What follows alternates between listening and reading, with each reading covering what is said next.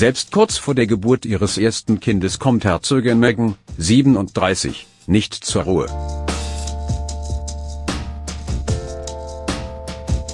Einmal mehr ist es ihre Halbschwester Samantha Markle, 54, die für Aufregung sorgt.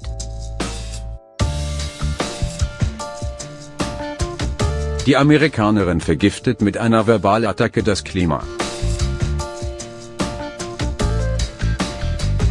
Dieses Mal richtet sich ihr Angriff aber nicht gegen die Herzogin, sondern gegen George Clooney, 57.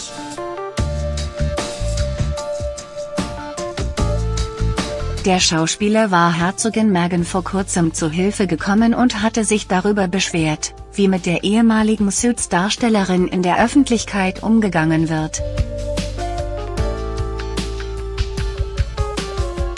Sie ist eine Frau, die im siebten Monat schwanger ist und sie wurde gejagt und verunglimpft und verfolgt auf die gleiche Weise wie Diana, die Geschichte wiederholt sich, soll George Clooney gesagt haben. Sie nennt ihn verrückt und beleidigt ihn.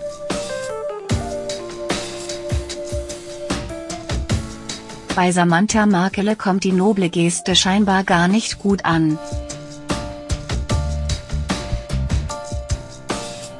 Hey, verrückter Clooney, hat dir deine Anwaltsgattin nicht beigebracht, dass man keine Aussagen machen sollte, ohne alle Fakten zu kennen?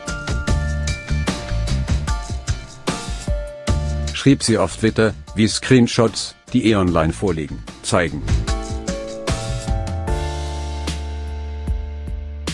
Und als ob diese Beleidigung noch nicht ausreicht, schrieb sie weiter, halt den Mund, Georgie. George Clooney hat mit Sicherheit zu viel Klasse, um auf diese Schmährede zu reagieren.